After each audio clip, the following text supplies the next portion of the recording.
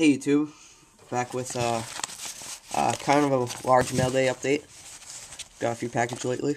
I uh, haven't been able to do any videos, so I'm gonna do the mail days, and then later I'm gonna do a up, update of my Logan Couture PC. So first, let me get to the, the mail days. First one is from Upper Deck. I finally got my redemption from Ultra. Uh, got the Ultra Rookie of Victor Stalberg. So that's nice. That is available for trade. So if anybody needs it, let me know. It will most likely be for sale too. But um, looking, I need PayPal so I can fund the Couture PC.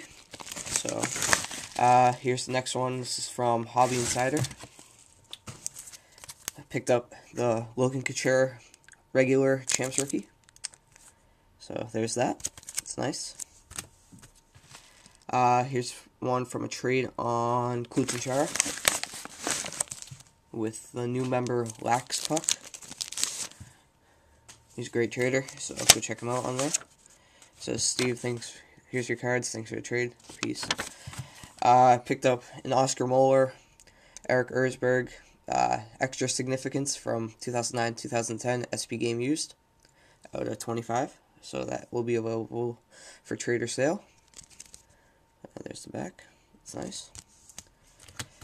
And I picked up a Ben Ferrio authentic rookie out of 6.99 from Wax Puck. So that's nice for the Ferrio PC and now the two from eBay. Um, first one is picked up two cards from the same seller. I threw bids on there with like a few minutes left. Ended up winning them. I picked up a Ryan Vesce SPX rookie Spectrum out of 25. So there's numbering on that. It's pretty nice. It's not bad. And I picked up picked up a Marc Andre Fleury Authentic Fabrics from 2009-2010 SP Game Used out of 100. So there's that. Uh, this Fleury will be available for trader sale, and the Vesce is not.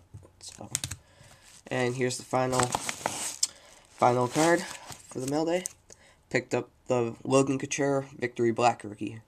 So that's really nice for the Couture PC. And now I'll do the Couture PC update in the next video. That's all for now. Uh, see you in a few. Bye. That's all.